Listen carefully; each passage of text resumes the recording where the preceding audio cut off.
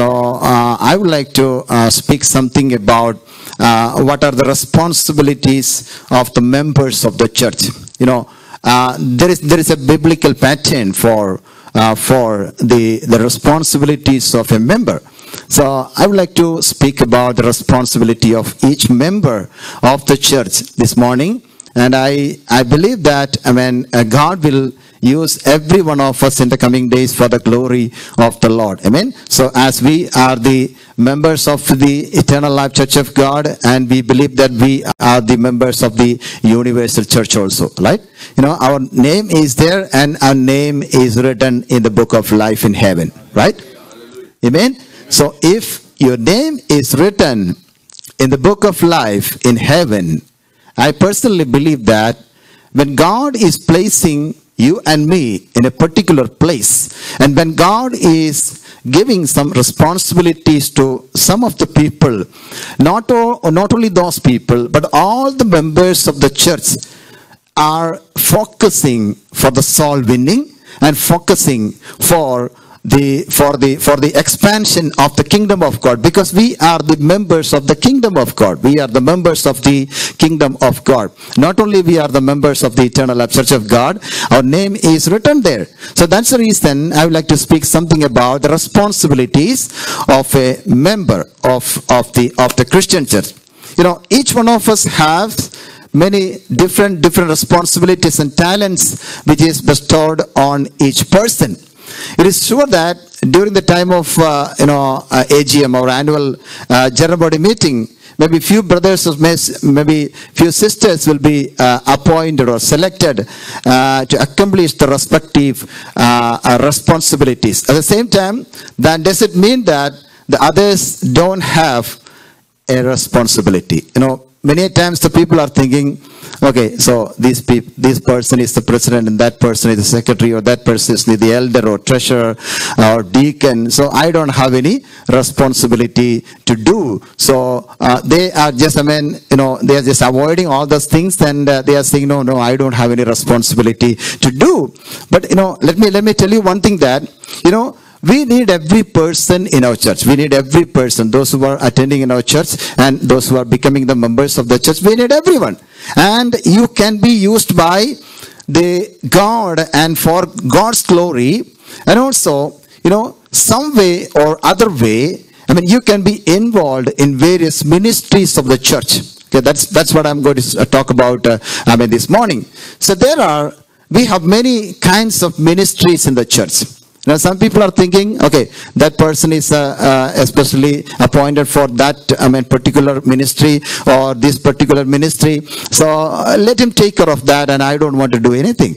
It's not the it's not the pattern of the Bible. Bible says that every person has a ministry.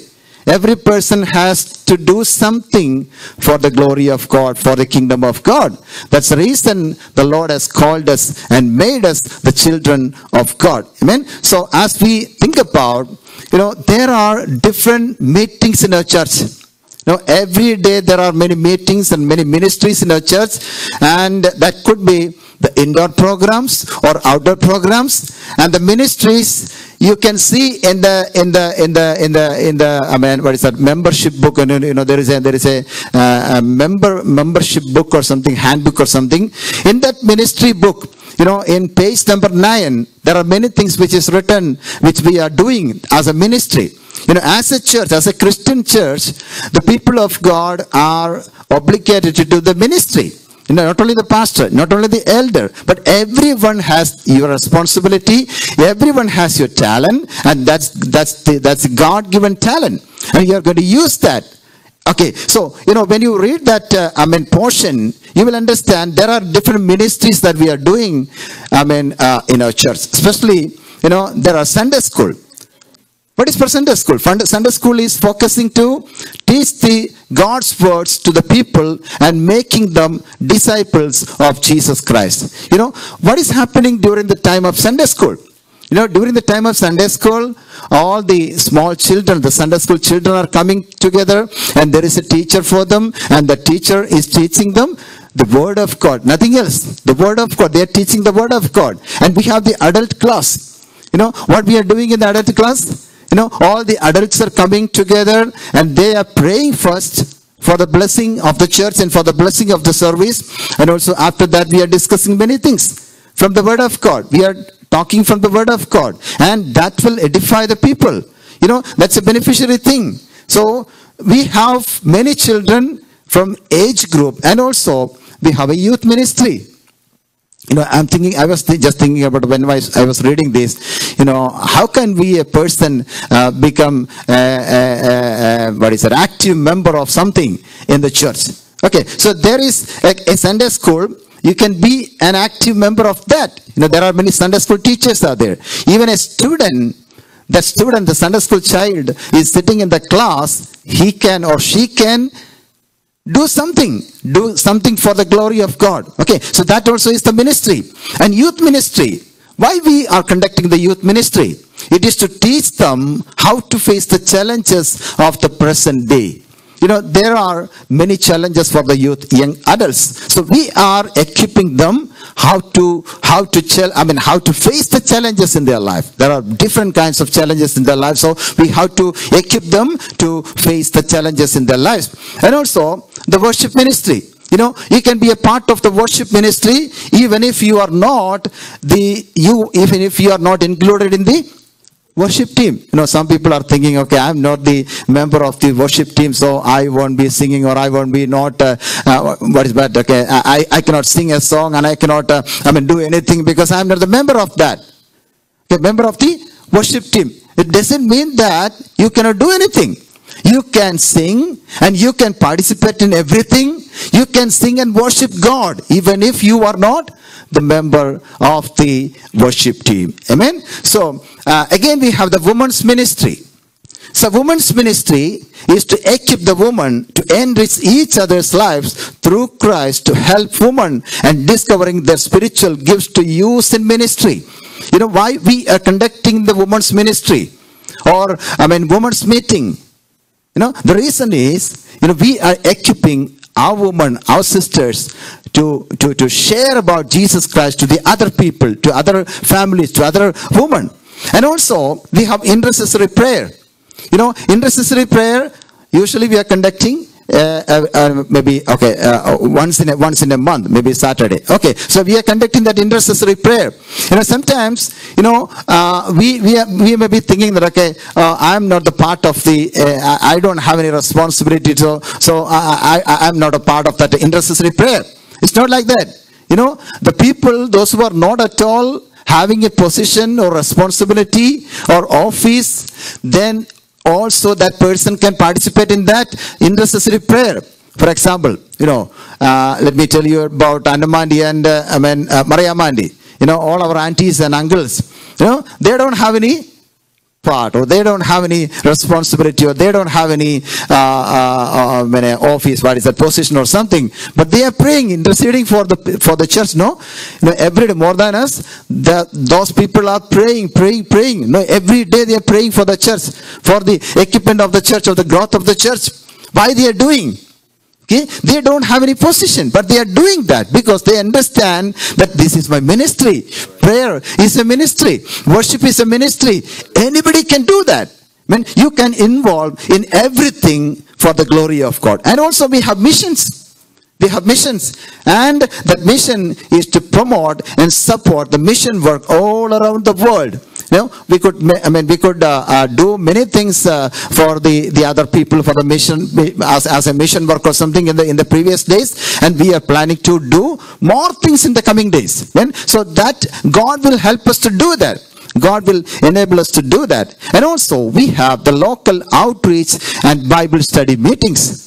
You know, all these things are happening in our church only because we are the members of the church and we have some involvement. And we can do something for the Lord. We are not doing for any one of the uh, person of our church or we are not doing for the pastor, but we are doing everything for God, for the glory of God. For example, you know, we have been, uh, I mean, reaching the lost souls and the perishing souls in the previous days, especially think about the Christmas carol and the outreach.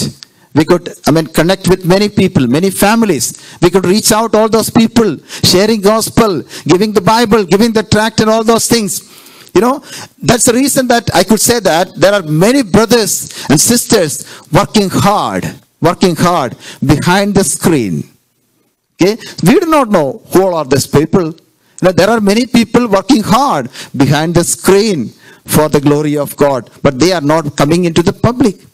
No, they are not a public figure. Nobody knows that about that those people what they are doing. We are not appreciating them, but at the same time, know one thing that whatever you do, God has God will be giving a reward for you in heaven. Hallelujah. So that's what we are learning from the book of Revelation in the previous previous classes.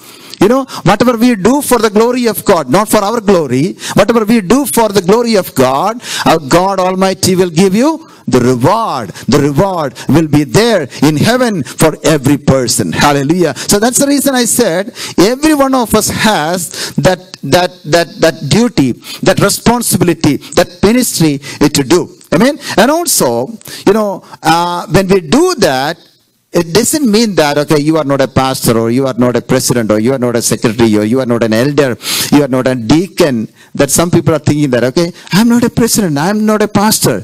Then why should i do this? Okay? Bible very clearly says that i mean to do something to do something for the glory of god there is no need of becoming a getting a position Anybody can do that. You have the talent and you have the talent of prayer. You have the talent of sharing gospel. You have the talent of singing. Do that for the glory of God. That's what God is expecting from the people of God. That's the reason I'm talking about the responsibility of a member of the church. As we are the member of this church, we are the member of the universal church. That means our name is written in the book of life in heaven.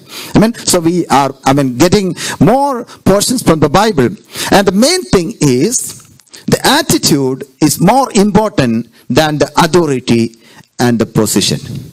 Okay, so after this, uh, when we are conducting uh, uh, the general body meeting, so we will be delegating the the some of the positions or some of the I mean uh, responsibilities to some of the people. Okay, only only some of the brothers or sisters will be getting that position or that um, uh, what is that uh, that office. Okay, so the responsibilities.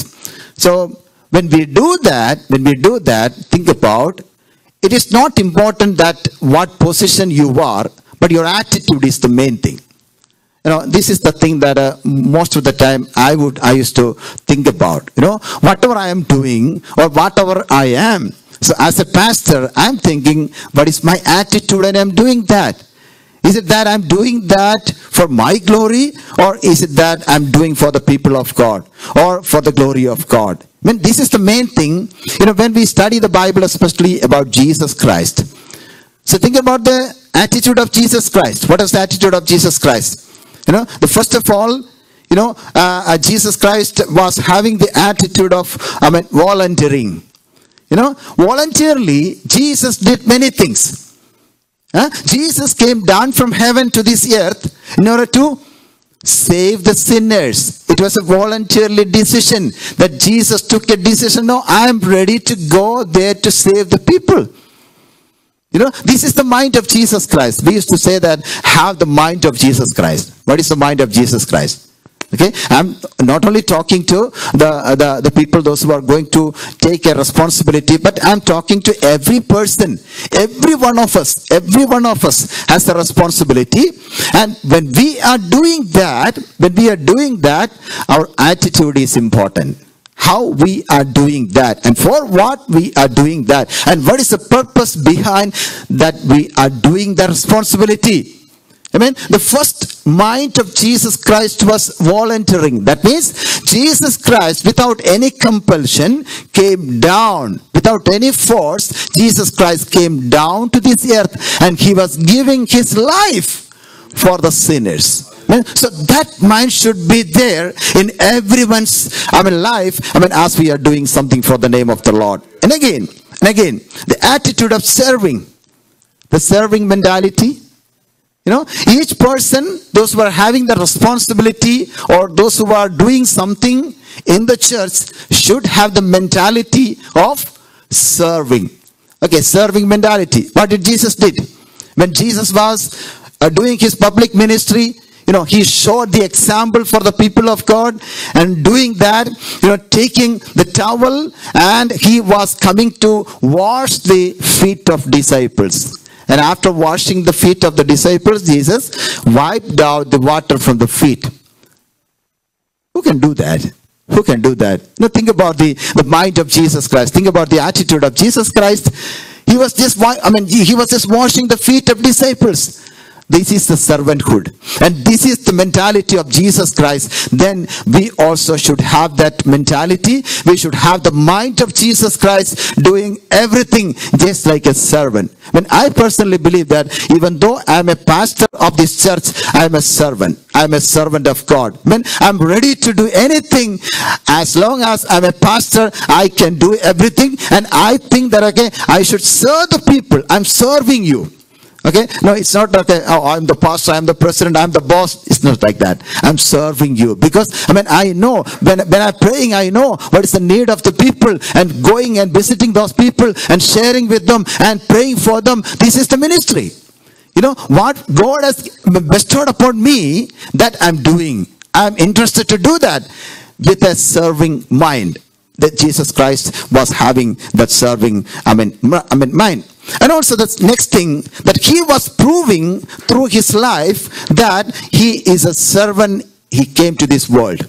Jesus came to this world as a servant to serve other people. All of the, you know, maybe three and a half years uh, whenever Jesus was walking through the roads and whenever he was visiting the houses and whenever he was uh, talking to the people, whenever he was making the message or preaching the sermons in the Mount sermons and everything, you know, wherever he was going and whatever he was speaking, everything was coming out of the mind of his servanthood. And his whole life was dedicated for the Lord and for the people that we can also take that mind of Jesus Christ and do everything as a servant. We are a servant of God. We are the servants of God and we are serving the people. We are serving the Almighty God. Hallelujah. And also, the next attitude of Jesus Christ was humbleness. No?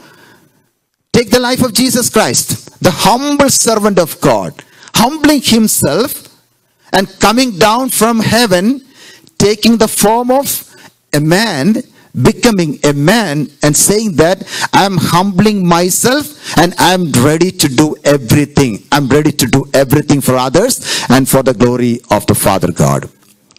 They should be there in our lives also.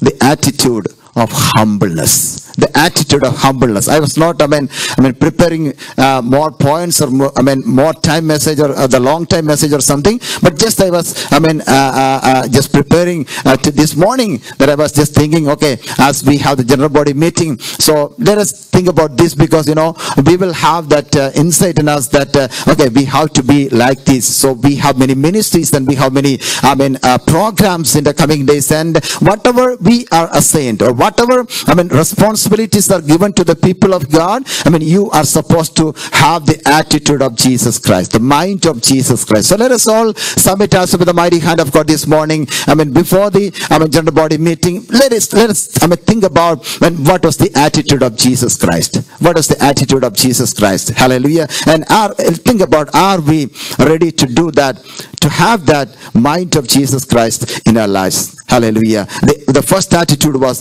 volunteering. Hallelujah. It's not, when somebody is forcing you to do something. You know, whenever you see that, uh, okay, this to be, this to be done, do that without asking anybody or without uh, I mean getting the permission for that or without uh, I mean thinking about okay I am a person who is having this dignity I am a person who is having uh, I mean this responsibility I don't have that responsibility so I cannot do that don't do that don't think in that way but Bible says that, I mean, whatever you see, you can do that, I mean, right after there, because that will bring glory into the name of the Lord. And that will help the other people. That will encourage other people. I mean, whatever the chances are getting, whatever the opportunities are that you are receiving in this world, to do something for the name of the Lord, to do something for the ministry of the Lord. Really, we understand. I understand that God will bless you. God will reward you whatever you are doing in this world. I mean, in heaven when He is distributing the rewards for the believers of God. Let us have that mind of volunteering. Let us have that mind of serving. the attitude of humbleness, the attitude of humbleness, the attitude of serving, the attitude of, I mean, making, I mean, himself nothing and serving the people. So this morning, let us also take a decision. Oh Lord, I'm ready, O God. We are ready, O God. I am ready, O God, in your presence, O God. As we are gathering together, let us pray together for a moment. Hallelujah. Let us pray like this. Hallelujah, Lord. We are coming to your presence, O God we need to do something for the name of the Lord in the coming days, O Lord. Hallelujah. Whatever the position, whatever the, the office bears, I mean, whatever the, the, the responsibilities are given to me, O Lord. I mean, even, I mean, I'm not given any responsibility, but I'm ready to do anything, O Lord. I'm ready to submit myself, O Lord. I'm ready to, I mean, prepare myself for, I mean, doing something, serving God and serving the people for the name of the Lord. Not for my glory, O God, only for your glory, O God. Only for your kingdom, O God. Hallelujah because we are the members of the kingdom of God. We are the members of, and, and, and, we have, our name is written in the life of, I mean, in the book of the life of, I mean, book, I mean, in, in, in heaven. So this morning, let us submit us with the mighty hand of God.